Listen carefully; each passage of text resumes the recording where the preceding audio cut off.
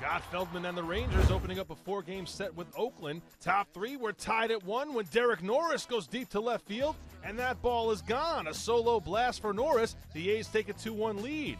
Next batter is Cliff Pennington, and Pennington will put a charge into one. That one's deep into the right field corner, and that'll leave the ballpark. Back to back home runs for the A's. They take a 3 1 lead, and their last five hits dating back to Wednesday have all been home runs. Tyson Ross getting the start for the A's, pitching with a 4 1 lead in the third, but Josh Hamilton will cut into that. Hamilton singles up the middle to score Ian Kinsler, and the Rangers are within two, 4 2 A's. Bottom five, same score, two on for Elvis Andrus. Andrus will ground one up the middle. Jemile Weeks can't make the play.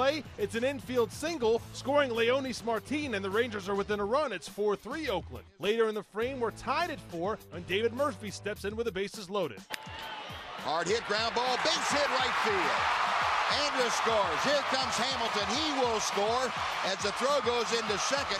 A two-run single, and the Rangers lead six to four. Murphy goes two for three with two RBIs after a four-hit outburst on Wednesday. Bottom seven now. It's 7-6 Rangers. Two on for Yorvit Torrealba. Torrealba skies one to center field. On comes Coco Crisp to make the sliding grab and then double off Nelson Cruz from the seat of his pants. One more look at the great defensive effort from Crisp. He keeps the A's within a run. Top nine now. The A's threatening against Joe Nathan. Two men on with one out. Seth Smith at the plate. He'll strike out swinging. And Nathan now just needs one more out to complete the save.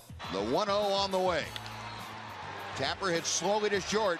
Andrus charges, throws, and that'll do it. Wow. Nathan gets Brandon Inge to ground out and end the ball game. The Rangers hang on for the 7-6 win. The Rangers win for the 11th time in their last 13 games. They improved to a season best 19 games over 500 and they're 48 and 29 overall. That's the best mark in Major League Baseball.